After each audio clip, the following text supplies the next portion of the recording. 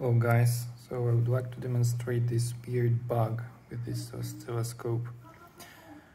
So occasionally I get this strange um, defect on the signal.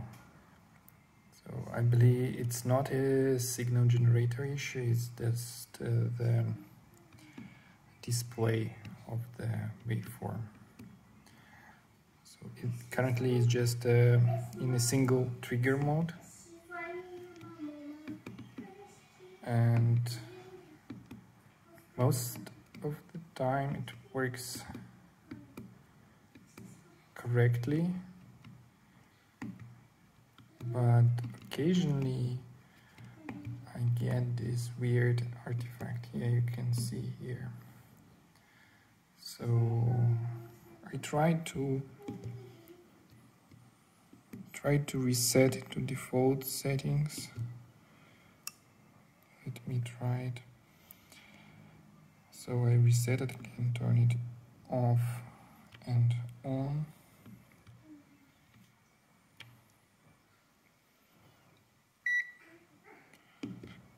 I have the latest firmware I think. Here it is.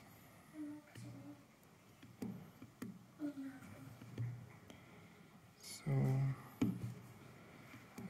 select the sine and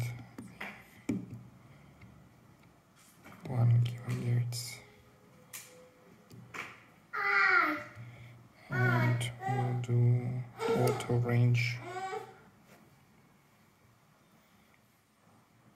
And I will switch it to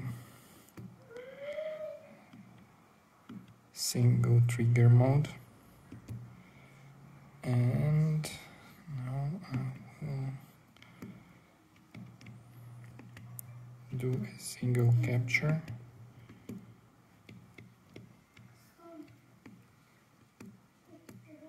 You see most of the times there is nothing wrong. But occasionally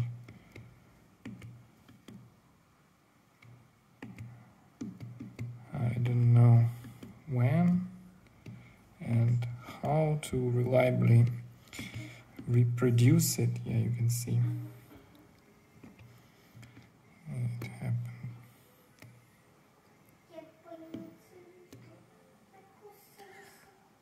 So I think it can be fixed with the firmware update and I hope it will be fixed because uh, I really like this little oscilloscope multimeter thing.